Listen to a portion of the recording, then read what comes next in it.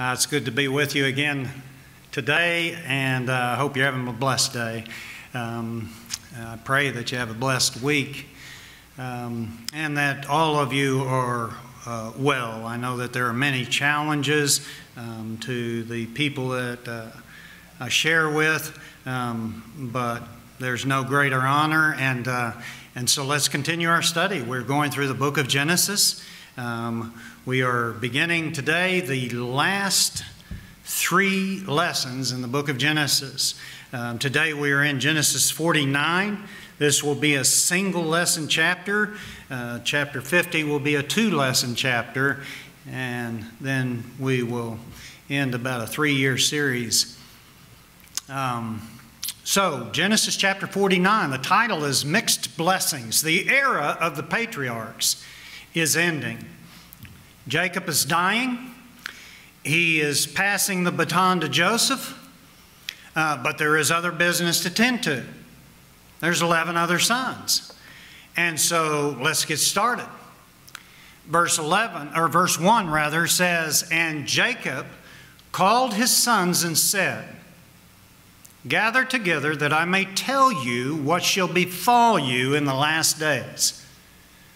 Gather together and hear you sons of Jacob, and listen to Israel, your father. Now, uh, Jacob knows he's nearing the end of his time on earth. That's obvious. He also knows that the information that he is about to give to his sons is inspired by God. We'll see that as we go along. Jacob will speak to each son, pronouncing an oracle on his sons. Now, I've talked about oracles before. Oracles can be positive, uh, that's what we call a blessing. Oracles can also be negative, that's what we call a cursing. And at times, we're going to wonder here which one of those we're actually reading. But these oracles, I think, are actually not intended to pronounce as much as they are to reveal. In other words, Jacob makes it clear that these are prophecies. These are, quote, what shall befall you in the last days, end quote. You know, it's been said this is the first conscious prophecy by man in the Bible. Uh, before this, we, we read prophecies, but we read only prophecies by God or by man who is unknowing that they're prophecies at the time. Jacob here refers to himself as both Jacob and Israel.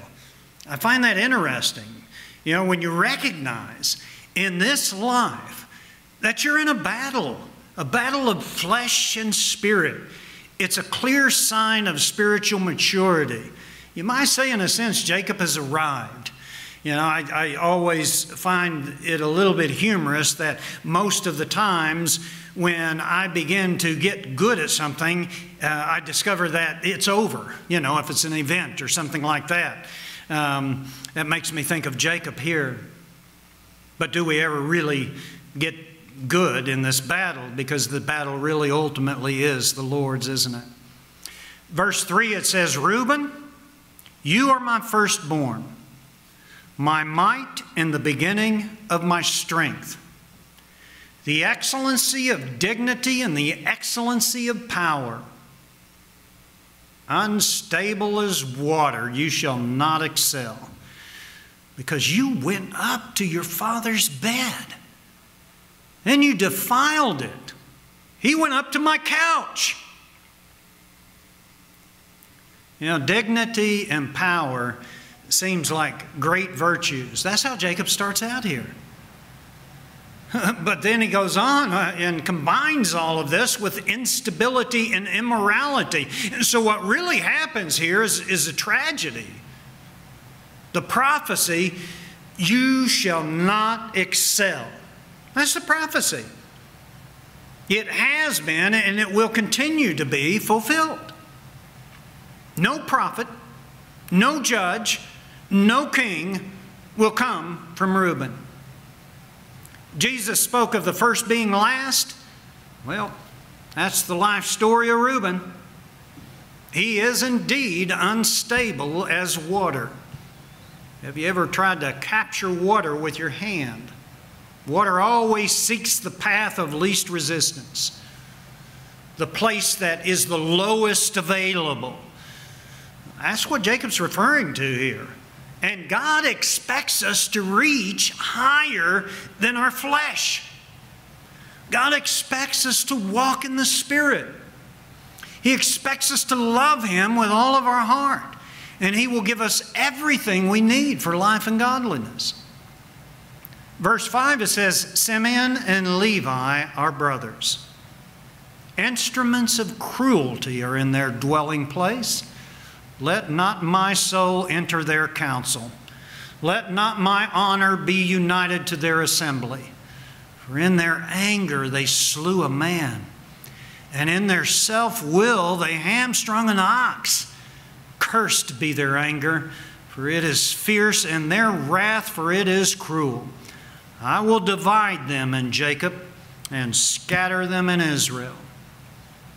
You know, th- these words here divide, scatter.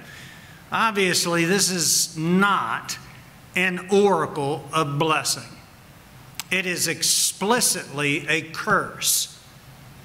Well, really, what it is, is a curse upon quote unquote anger.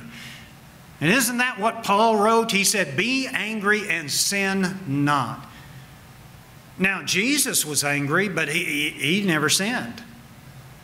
Uh, Simeon and Levi, on the other hand, were sinfully angry, and the reason is made very plain self will.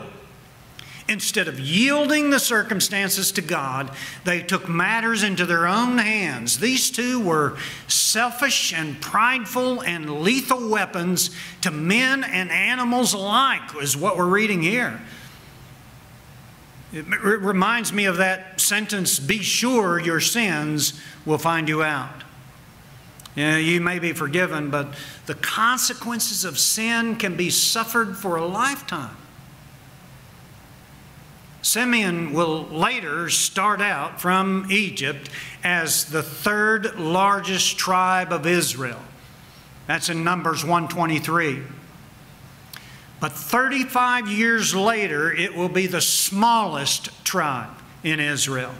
That's in Numbers 26 14. And eventually, this tribe will share land with Judah. That's in Joshua 19, verse 1. Levi, on the other hand, showed faithfulness during the rebellion of the golden calf in Numbers 26 14. It's a great lesson because it lets me know when I disobey God, I will suffer for it. But what should I do with that? Should that suffering draw me close to God or should it drive me away from God? I hope we understand the answer to that. Verse 8 Judah, you are he whom your brothers shall praise. Your hand shall be on the neck of your enemies. Your father's children shall bow down before you. Judah is a lion's whelp. From the prey, my son, you have gone up. He bows down, he lies down as a lion, and as a lion, who shall rouse him?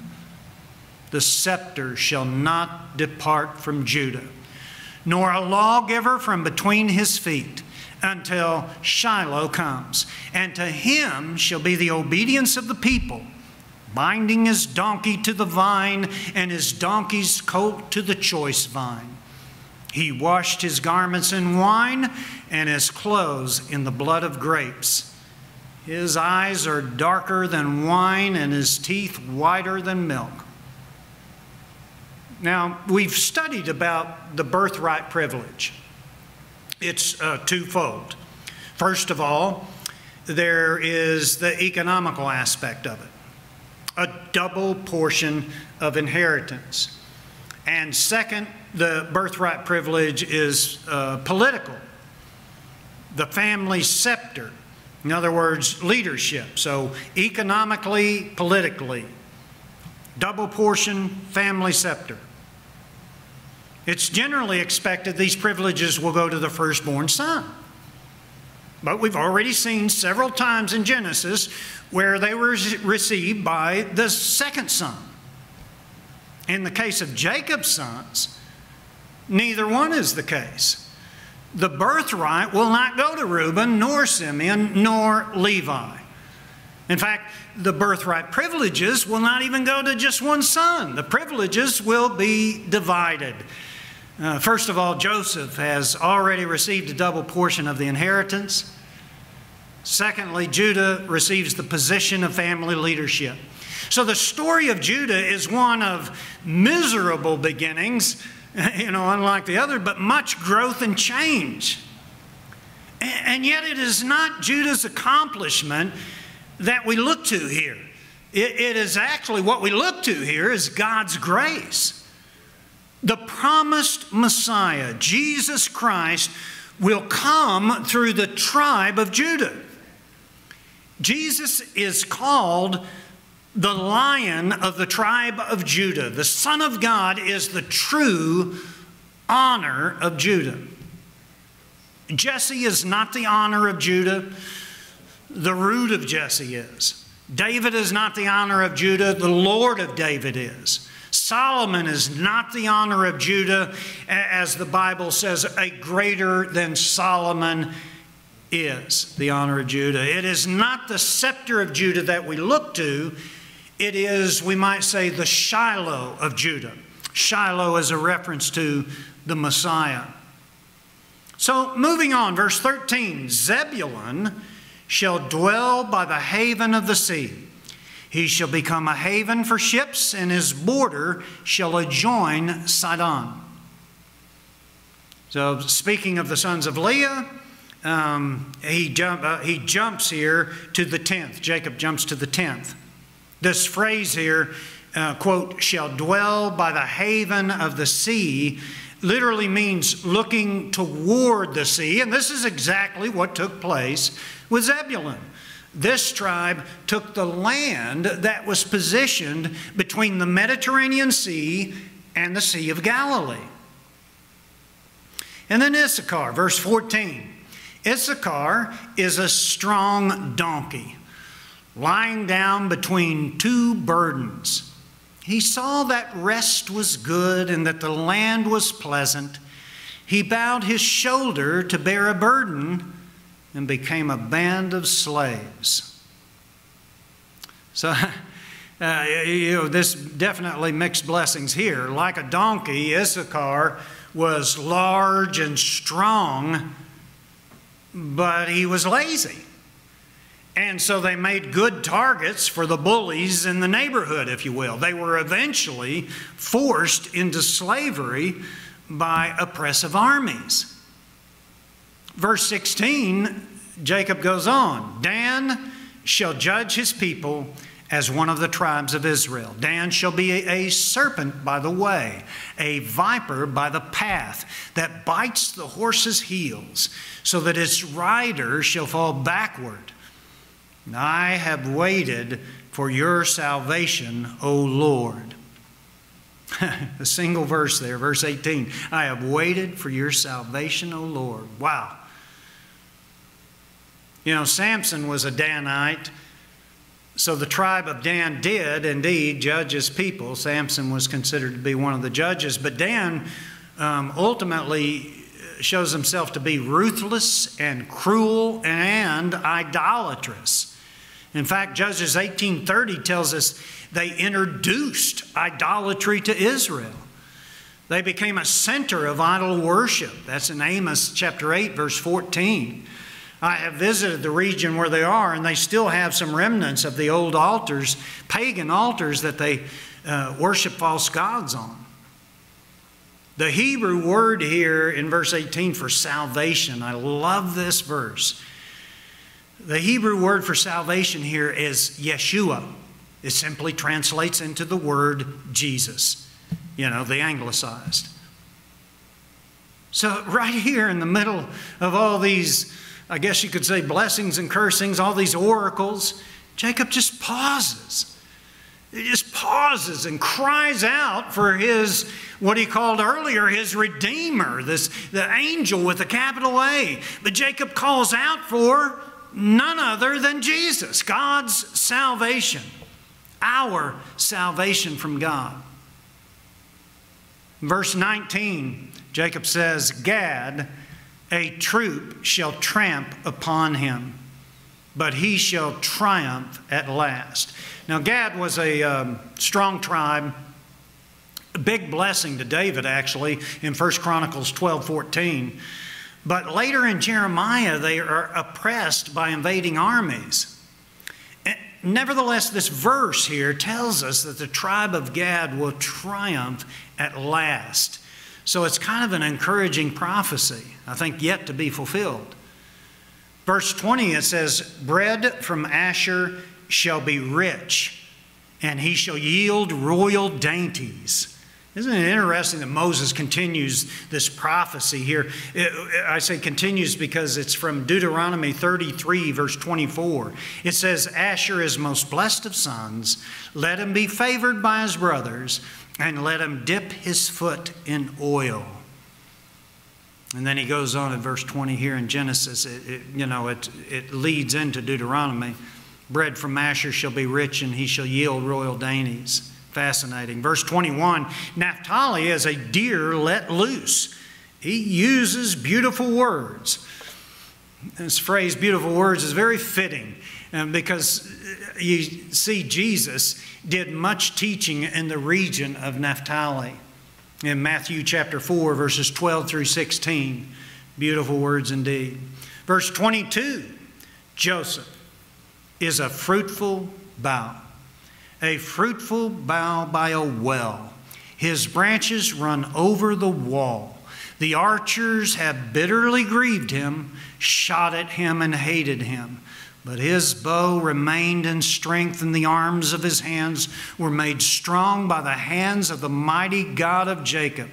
From there is the shepherd, the stone of Israel by the God of your Father who will help you, and by the Almighty who will bless you with blessings of heaven above, blessings of the deep that lie beneath, blessings of the breasts and of the womb, the blessings of your Father have excelled the blessings of my ancestors.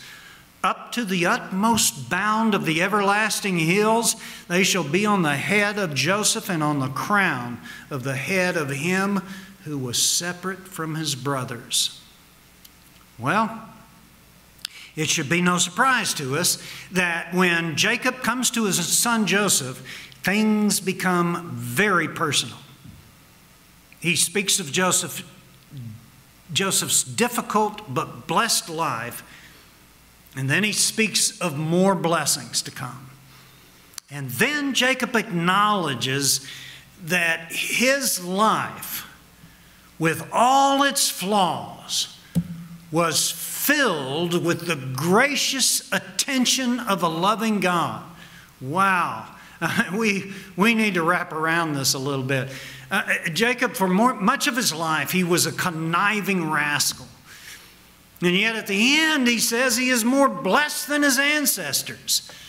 In fact, Luke 7:47 tells us the one who has been forgiven much loves much. Notice the five titles that Jacob ascribes to God.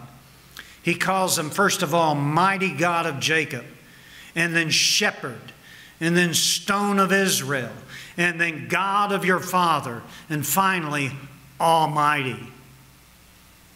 Verse 27 says, Benjamin is a ravenous wolf. In the morning he shall devour the prey, and at night he shall divide the spoil. Now, there's numerous scriptures that illustrate just how brutal the tribe of Benjamin was, but time is not going to allow me to get into that here. You can see, uh, you can see Judges chapter 3, verse 15 through 23, um, the story of Ehud, one of the um, judges, um, Saul in 1 Samuel 9 1, Samuel 14 47 to 52, and Paul in Acts 8 1 through 3, and Judge, uh, uh Judges 19 to 20 plenty of examples. Verse 28 All these are the 12 tribes of Israel, and this is what their father spoke to them, and he blessed them. He blessed each one according to his own blessing. Much of what Jacob speaks here, folks, is about his, uh, that, that he is speaking about his sons, is going to become even more clear to us as it is fulfilled in the future.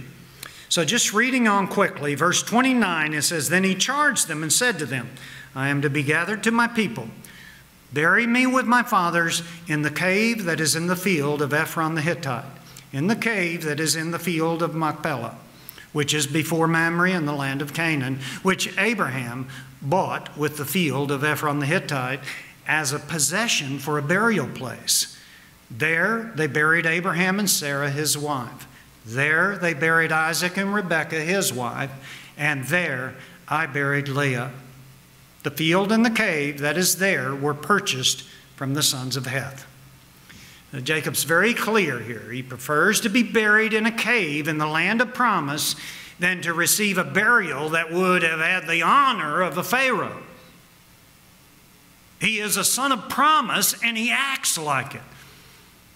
It begs the question how about you and me? Are, are you a child of promise through Jesus? And can people see that you are? Last verse, verse 33. And when Jacob had finished commanding his sons, he drew his feet up into the bed and breathed his last and was gathered to his people. So we have the end of an era. Three patriarchs Abraham, Isaac, and Jacob. One commentator said that there are three basic attitudes toward death death, death accepting, death denying, and death defying. You know, the ancient Greeks held to the death accepting view. Our world is really sold out to a death denying approach. But Christians should have a death defying attitude. To be absent from the body is to be present with the Lord. Um, let's pray. Father in heaven, what a great blessed hope you have given us. And oh Lord, what a wonderful sense of your presence we're enjoying today. Lord, help us, guide us, direct us, fill us, Lord, to overflowing, and just help us to show Jesus. May everyone who comes around us through this week, Lord, just see and want what we have and give us the ability, Lord, to share that in whatever way we are able to physically, Lord. Help us to do that. In Jesus' name, amen.